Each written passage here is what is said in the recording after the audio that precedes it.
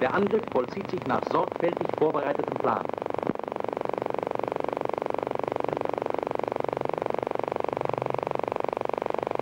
Zwischen Maubeuge und Sedan wird die Maginot-Linie durchbrochen. Auf dem linken Flügel der Heeresgruppe A liegt das mächtige Werk 1205, das nach planmäßiger Artillerievorbereitung von Pionierstoßtrupps genommen wird.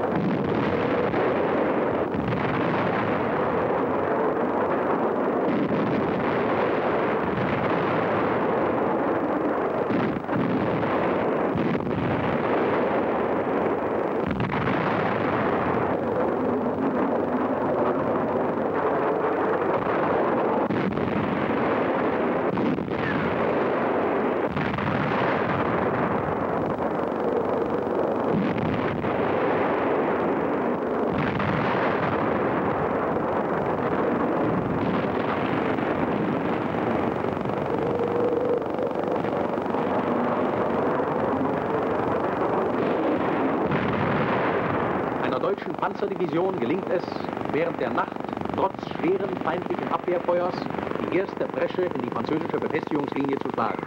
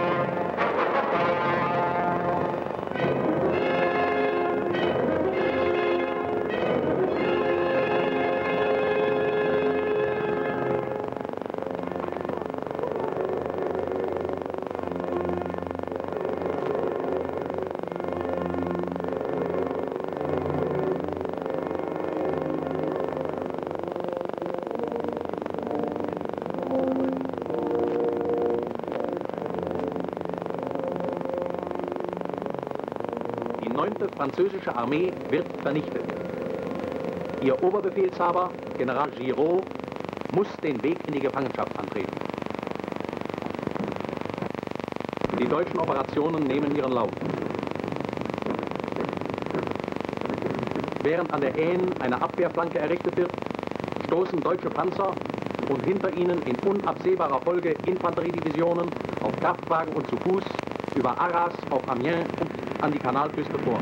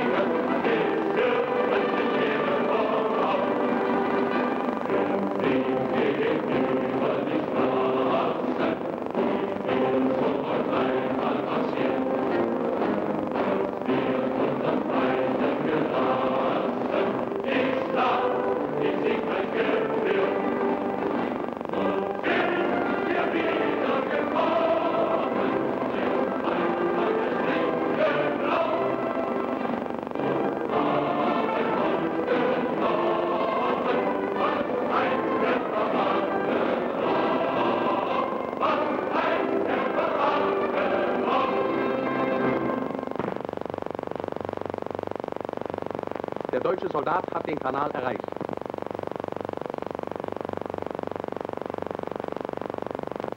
Der Ring um das englisch-französische Angriffsheer schließt sich. Die zusammengedrängten Truppenteile unternehmen verzweifelte Gegenstöße.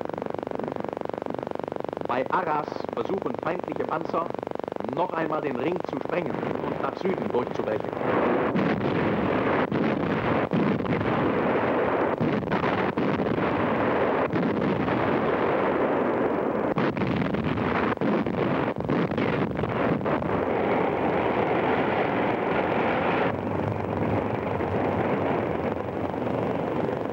Angriffe des Feindes stoßen auf die festgeschlossene deutsche Front.